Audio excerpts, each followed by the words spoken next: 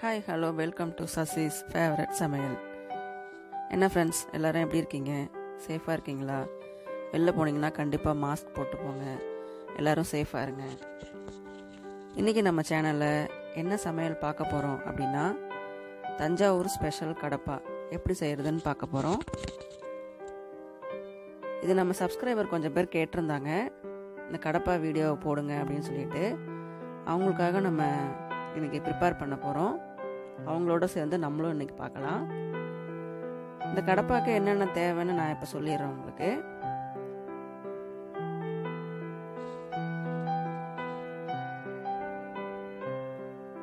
நான் ஒரு பெரிய வெங்காயம் எடுத்திருக்கேன். நல்லா சின்ன சின்னதாக கட் பண்ணி வச்சுருக்கிறேன் பொடியாக கொஞ்சம் பூண்டு அந்த மாதிரி சின்ன சின்னதாக பொடியாக கட் பண்ணி வச்சுருக்கேன். ஒரு மூணு தக்காளி நல்லா பழமாக எடுத்து அதையும் கட் பண்ணி வச்சுருக்கேன்.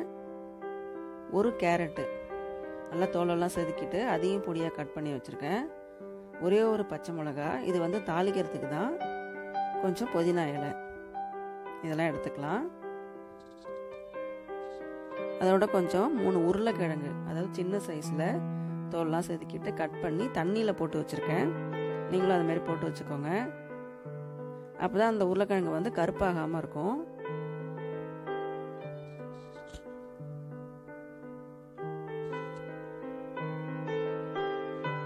அடுத்தது இதுக்கு முக்கியமான ஒன்று பாசிப்பருப்பு. நான் ஒரு முக்கால் கப்பு பாசிப்பருப்பு எடுத்திருக்கேன். இதை வந்து வேக வச்சு எடுத்துக்கணும் இந்த பாசிப்பருப்பை.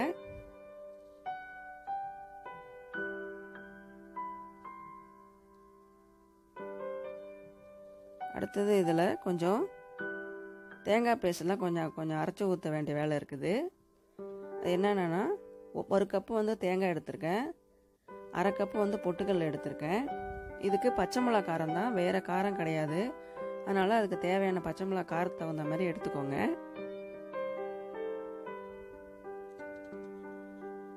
கொஞ்சம் இதோட கசகசா எடுத்திருக்கேன். வறுத்து வச்சுருக்கிறேன் அதையும் கொஞ்சம் ஆட் பண்ணி அரைக்கணும்.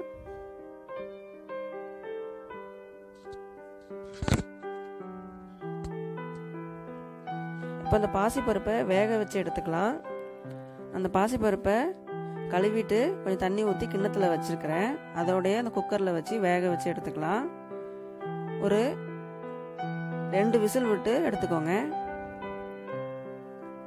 தாளிக்கிறதுக்கு என்னென்ன தேவைன்னு பார்க்கலாம். கொஞ்சம் பட்டை இலை கிராம்பு பெருஞ்சீரகத்தூள் எடுத்திருக்கேன். அதோட இஞ்சி பூண்டு பேஸ்ட்டு கொஞ்சம் எடுத்துக்கோங்க.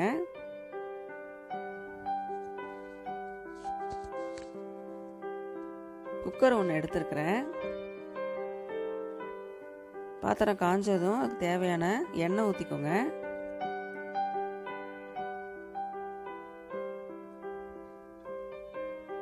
அதில் இந்த பட்டை கிராம்பு இலை அதெல்லாம் போட்டு கொஞ்சம் தாளிச்சிக்கலாம்.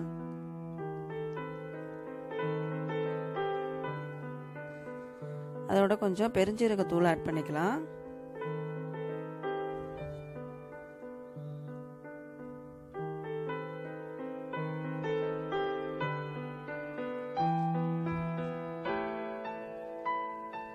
இதில் இந்த கட் பண்ணி வச்சுருக்கிற வெங்காயத்தை போட்டு கொஞ்சம் வதக்கிக்கலாம்.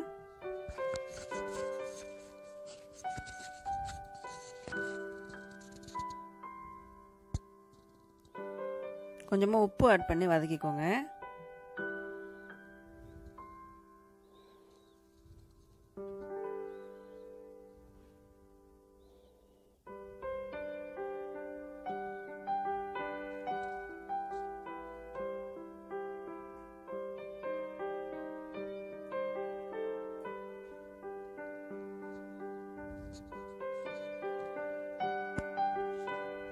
கொஞ்சம் இதில் கட் பண்ணி வச்சுருக்கிற தக்காளியும் சேர்த்து வதக்கிக்கலாம்.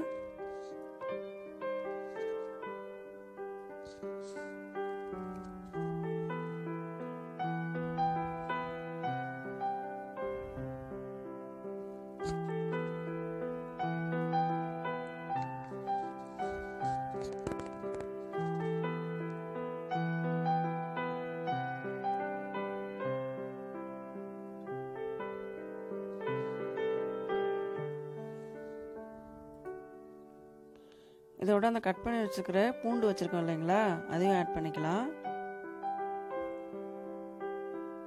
பூண்டு அந்த பச்சை மிளகா புதினா இலை எல்லாத்தையும் போட்டு கொஞ்சம் வதக்கிக்கலாம்.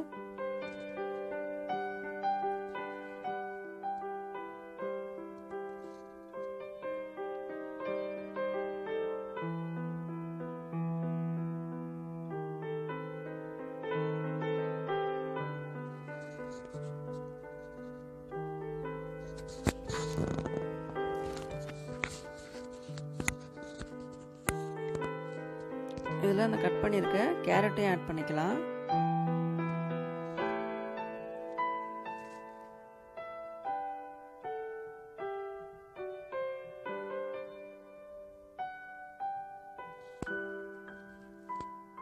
இதில் அந்த உருளைக்கிழங்கையும் போட்டுக்கலாம். நல்லா தண்ணி இல்லாமல் கொஞ்சம் போட்டுக்கோங்க உருளைக்கிழங்க.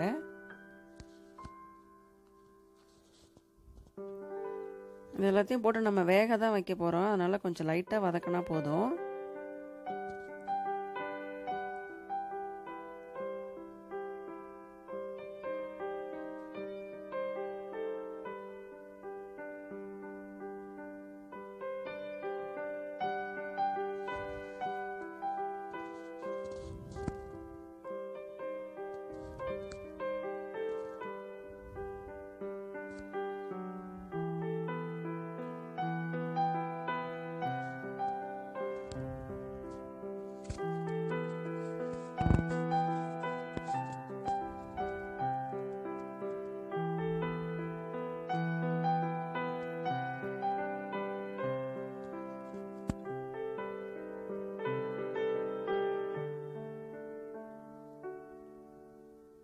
இதில் கொஞ்சம் இஞ்சி பூண்டு பேஸ்ட் ஆட் பண்ணிக்கலாம். ரெண்டு ஸ்பூன் போதும். இஞ்சி பூண்டு போஸ்ட்டு போட்டாலே ஒரு தனி வாசனைங்க. செம்மையாக அடிக்குது.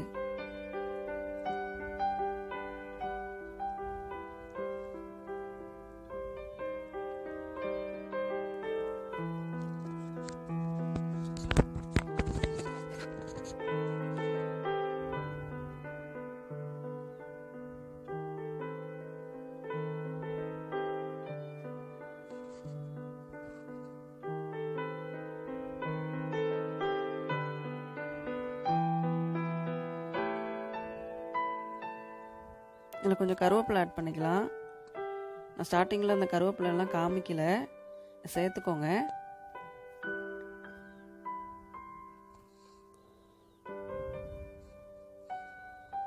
கொஞ்சோண்டு மஞ்சத்தூள் ஆட் பண்ணிக்கலாம்.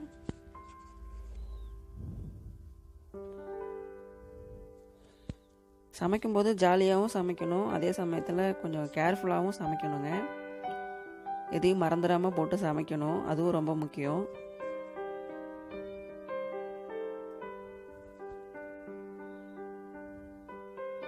இதில் இப்போ கொஞ்சம் தண்ணி ஊற்றி வேக வச்சு எடுத்துக்கலாம்.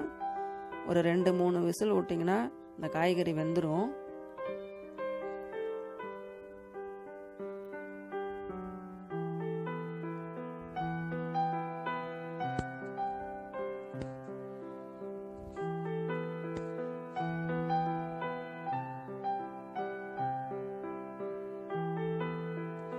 ஓகே இப்போ மூடிடலாம். அந்தாண்ட பக்கத்தில் பாசிப்பருப்பு வெந்துக்கிட்டு இருக்கு அடுத்து அதை பார்க்கலாம். இது அப்படியே வெந்துக்கிட்டே இருக்கட்டும். நம்ம அடுத்தது இந்த வெங்காயம் சாரி இந்த பொட்டுக்கல்ல தேங்காயெல்லாம் வச்சு எப்படி பேஸ்ட் ரெடி பண்ணுறதுன்னு பார்க்கலாம்.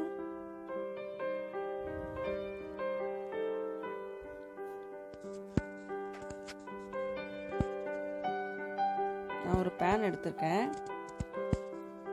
இந்த பேனில் பச்சை மிளகா ஆட் பண்ணி வதக்கலாம்.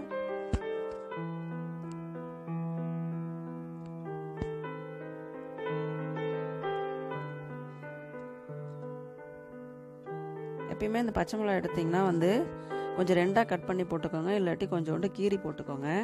முழுசாக போட்டு வதக்க வேண்டாம். எண்ணெயெல்லாம் ஊற்ற வேணாம். சும்மா அப்படியே ட்ரையாக வதக்கினா போதும்.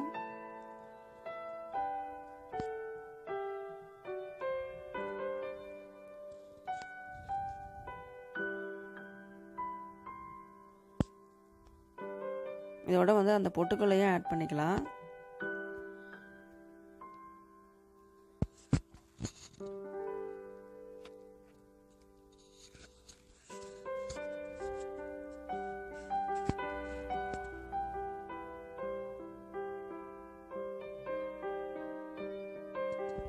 நான் அந்த கப்பால் அரை கப்பு தான் எடுத்திருக்கேன். பொட்டுக்கலை ரொம்ப அதிகமாக போடணும்னு தேவையில்லை.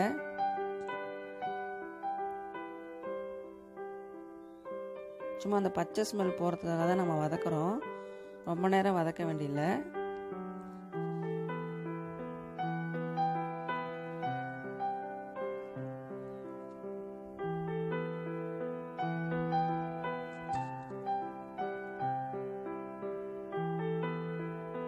வதக்கியாச்சு இதை ஒரு தட்டில் எடுத்து கொட்டிக்கலாம்.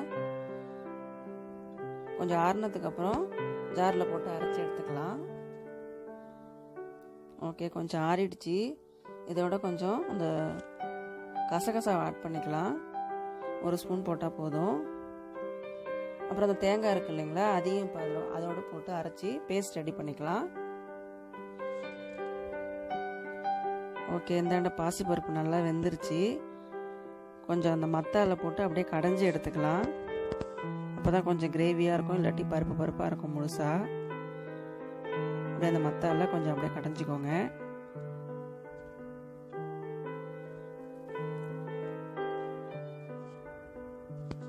இதை ஒரு பாத்திரத்தில் ட்ரான்ஸ்ஃபர் பண்ணிக்கலாம்.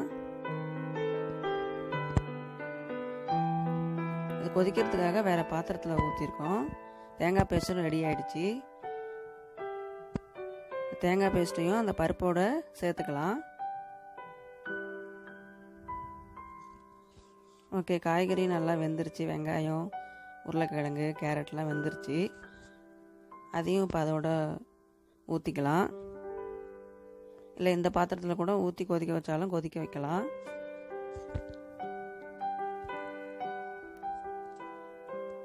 ஓகே ஆல்மோஸ்ட் கடப்பா ரெடி ஆயிடுச்சு. இனிமேல் இதை வந்து கொதிக்க வச்சு நம்ம எடுத்துக்கணும். நல்லா கொதிக்கணும் இப்போ கொஞ்சம்.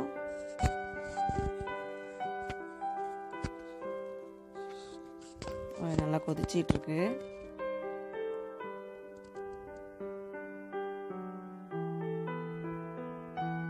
கொஞ்சம் பொட்டுக்கடலை எல்லாம் போட்டுக்கிறதுனால கொஞ்சம் அடியில் பிடிக்கும். கொஞ்சம் நல்லா அப்படியே மிக்ஸ் பண்ணி விட்டுக்கிட்டே இருங்க. சமயத்தில் அந்த உப்பு காரம்லாம் கரெக்டாக இருக்கான்னு பார்த்துங்க காரம்லாம் கரெக்டாக இருக்குது உப்பு தான் கொஞ்சம் கம்மியாக இருக்குது போட்டுக்கலாம்.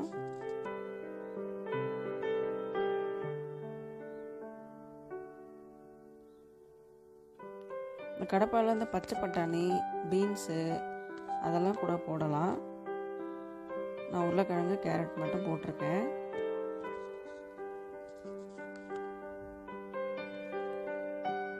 வரைக்கும் நல்லா கொதிச்சு வச்சுங்க. கடப்பா ரெடி ஆயிடுச்சு.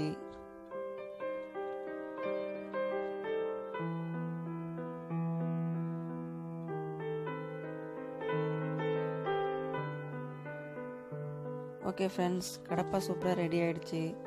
வாசனை செம்மையாக அடிக்குது. நீங்களும் செஞ்சு பாருங்கள் சாப்பிட்டு பாருங்கள் இந்த வீடியோ உங்களுக்கு கண்டிப்பாக பிடிச்சிருக்குன்னு நினைக்கிறேன். பிடிச்சிருந்துச்சுன்னா லைக் பண்ணுங்கள் ஷேர் பண்ணுங்கள் மறக்காமல் சப்ஸ்கிரைப் பண்ணிவிடுங்க கூடவே பெல் ஐக்கானையும் கிளிக் பண்ணிவிடுங்க தேங்க்யூ ஃப்ரெண்ட்ஸ் ஜாலியாக சமைங்க. சந்தோஷமாக சாப்பிடுங்க.